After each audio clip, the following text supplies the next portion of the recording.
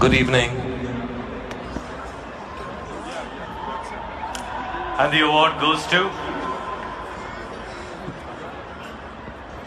Okay, so this is a huge privilege for me because Zee Aflam presents Critics Award for Best Actor Male goes to the one and only Amitabh Bachchan.